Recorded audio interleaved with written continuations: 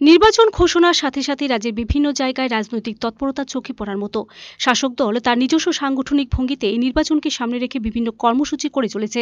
রবিবার ভারতীয় জনতা পার্টি দক্ষিণ জেলা বিলুনিয়া মণ্ডলের উদ্যোগে বিলুনিয়া সচিন দেববর্মন অডিটোরিয়ামে প্রদেশ জেলা মণ্ডল পঞ্চায়েত স্তর, জেলা পরিষদ সহ মণ্ডলের অধীনে শক্তি কেন্দ্র প্রমুখ ভূত সভাপতিদের নিয়ে বৈঠক অনুষ্ঠিত হয়। বিলুনিয়া মণ্ডল সভাপতি গৌতম সরকার দলীয় পতাকা উত্তোলন করে প্রদীপ প্রজ্বলনের মধ্য দিয়ে সাংগঠনিক বৈঠকের সূচনা করেন।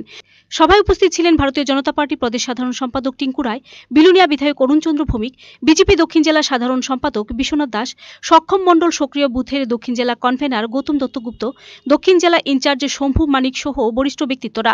মণ্ডল সভাপতি গৌতম সরকারের স্বাগত ভাষণের পর বৈঠকে বিলোনিয়া মণ্ডলের অধীনে বিভিন্ন বুথগুলিতে পরিকল্পনা মাফিক সংগঠনের কর্মসূচি পালন করা হচ্ছে কিনা, খুঁটিনাটি বিষয়গুলি নিয়ে বিস্তারিতভাবে আলোচনা করেন উপস্থিত বিভিন্ন পদাধিকারী নেতৃত্বরা।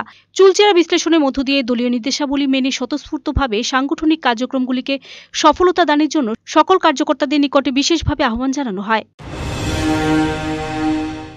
আমাদের প্রত্যেককে আজ আমরা যে পাঠ নেব সেই পাঠ নিয়ে প্রত্যেক বুথ সভাপতি প্রত্যেক প্রধান, প্রত্যেক বিএলএ, প্রত্যেক মণ্ডল সদস্য, আমরা যারা পঞ্চায়েত সমিতিতে আছি, আমরা যারা জেলা সমিতিতে আছি, আমরা যারা কার্যকর্তা বিভিন্ন মোর্চা, বিভিন্ন দলের সক্রিয় অভিভাবক, সবাই মিলে আমরা যেন কাজগুলি অতি দ্রুত গতিতে আমরা করতে পারি। পাশাপাশি আসন্ন বিলুনিয়া পৌর পরিষদের নির্বাচনে বিজেপি মনোনীত প্রার্থীদের বিপুল ভোটে জয়ী করতে বিভিন্ন কর্মসূচির মধ্য দিয়ে মাঠে ঝাঁপিয়ে পড়ার কার্যকর্তাদের নির্দেশ দেন নেতৃত্বরা। পাশাপাশি সকলকে দায়িত্ব নিয়ে কাজ করারও আহ্বান জানানো হয় এই সাংগঠনিক বৈঠকে। Video report, search India TNN.